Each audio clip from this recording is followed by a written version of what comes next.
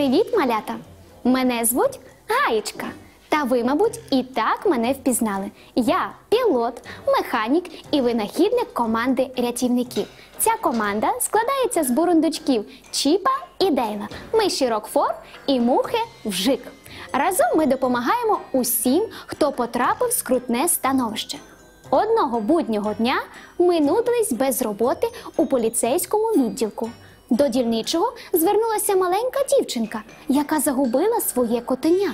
Точніше, вона була впевнена, що його хтось викрав.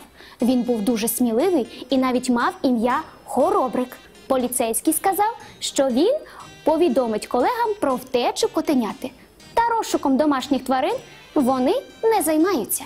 А ми не могли залишити дівчинку в біді і вирішили, що ця справа саме для нашої маленької команди рятівників. Ми поцупили фотографію хоробрика і відправились на його пошуки. Я разом з Чіпом полетіли до будинку, де жила маленька дівчинка зі своїм котеням. Вона сильно сумувала за ним і гірко плакала.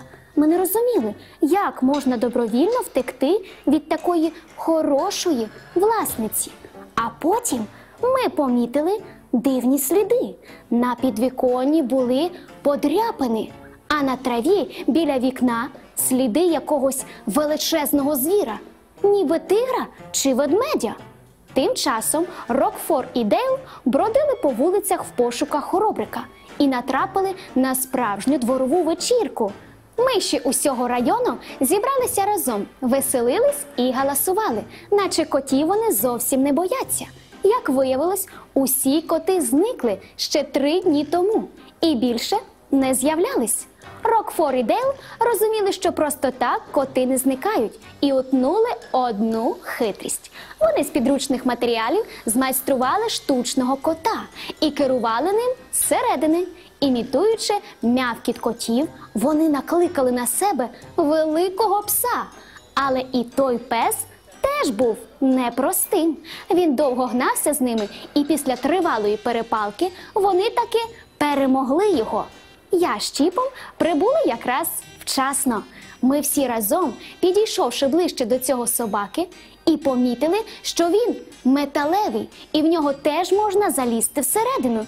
Що ми і зробили. Кульгаючи, він завів нас до своєї бази. Це була лабораторія з величезною кількістю вольєрів з котами. Там працювали ще двоє таких собак, які щоразу у своїй пащі приносили нових і нових котенят. У лабораторії працював навіжений професор, який був злий на весь світ. Вжик швидко знайшов хоробрика серед усіх котів. Рокфор своїми силами розігнув сітку, і ми випхали кота з клітки. Звільнивши хоробрика, хлопці вже збирались тікати геть. Але я нагадала усім, що ми все-таки рятівники і мусимо врятувати усіх котів. Залишившись там, ми спостерігали жахливу картину. За допомогою роботів злий вчений начісував котів натуральною щіткою. Таким чином він створював нереальний заряд статичної електрики. Вчений хотів, щоб коти зарядили його генератор, і він вдарив по місту блискавкою і піджарив його. Оу, ціле місто було у небезпеці. Нам потрібно було забрати у професора пульт керування лабораторії. І у цьому нам допоміг хоробрик. Він відволікав цього навіженого вченого, постійно кусаючи і дряпаючи його. Коли пульт керування вже був у нас, нам вдалося впоратись із цими жахливими металевими псами. Навіть вдалося одного налаштувати так, щоб той прокотнув професора повністю. Так він і залишився всередині. Нам залишалося лише відпустити усіх котів на волю і знайти серед них хоробрика.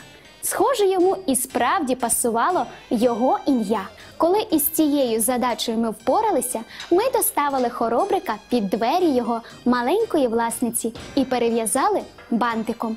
Дівчинка була неймовірно щаслива поверненню свого улюбленця. А ми були раді бути корисними. Ось така ще одна із сотні історій, в якій ми допомагали тим, хто цього потребував. І ви, наші маленькі друзі, Ніколи не проходьте повз чужої біди. І якщо це у ваших силах, обов'язково допоможіть. До нових зустрічей!